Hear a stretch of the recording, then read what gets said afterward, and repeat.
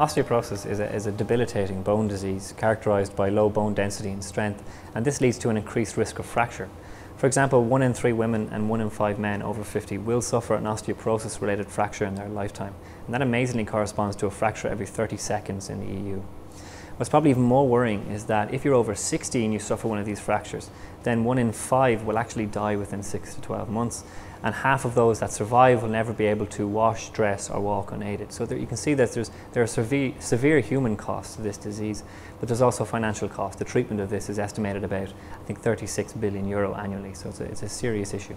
Well, osteoporosis arises when there's an imbalance between bone resorption and bone formation. So, in a, in a healthy patient, the amount of cell, uh, bone that's being resorbed and formed is in perfect balance. What happens in osteoporosis is that this becomes out of balance, whereby you tend to get a little bit more resorption and less formation.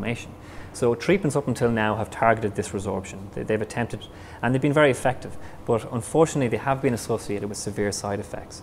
So it, it's, it's not optimum right now. So we need to develop uh, new, new approaches, um, uh, alternative approaches, and one I'm proposing is that instead of trying to inhibit this resorption, why do we try and enhance this formation so once again we get this perfect balance.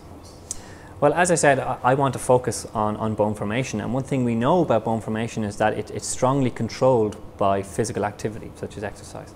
And what we've known for a long period of time is that the more you, you um, physically uh, load your bones through exercise and things like that, the, the, more bone you have and the healthier your bone is. And, and we've known this mainly uh, through uh, the, uh, basically astronauts going to space where they don't experience any loading whatsoever. And so because of that, they tend to lose a lot of bone. Uh, and the opposite is true when you, you, come back onto earth, I suppose, and you look at professional athletes, you look at tennis players, they have a dominant serving arm. It's loaded a lot more. And so what we see is their loading, their serving arm has more bone than their non-serving arm. So, so loading is very, very good for your bones.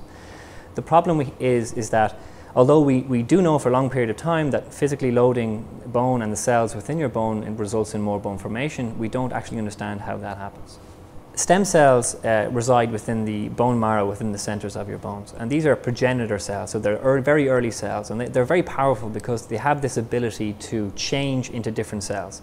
And one cell they change into is called an osteoblast, and that, that is a cell that forms bone. And what we believe is happening is that when we physically activate our bones, these stem cells within your bone marrow become mechanically stimulated, they're physically stimulated. And uh, as a result of that stimulation, they turn into a bone forming cell. That bone forming cell then moves or migrates to where bone is needed, and then it lays down new bone, right?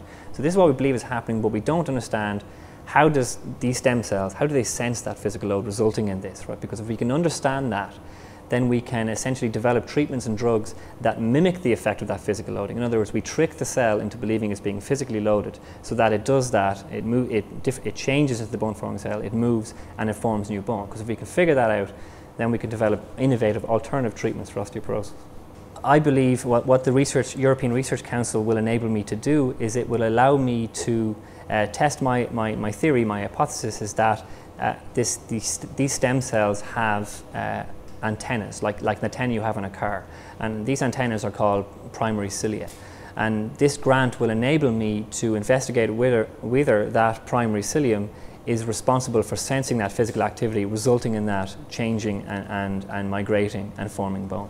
So if we can, that, this grant will allow me to test that hypothesis and figure out how it does it, so then I can go and develop drugs that will mimic the effect of physical loading through the antenna, resulting in that activity. The trick here is to figure out the mechanism so that we can, we can mimic the beneficial effects of physical loading. Uh, because this is important because a lot of people who suffer from osteoporosis tend to be elderly. We, when they find out they have osteoporosis, they're already very weak, their bones are weak. So we can't say, go into the gym there and lift 50 kilograms of weight. We can't tell them to go for a big long run because they might actually do more damage than good in that situation. So if we can give them a drug or a therapeutic that mimics the effect of physical loading, enhancing that formation, correcting that balance again, then I think that's a very effective way of treating osteoporosis.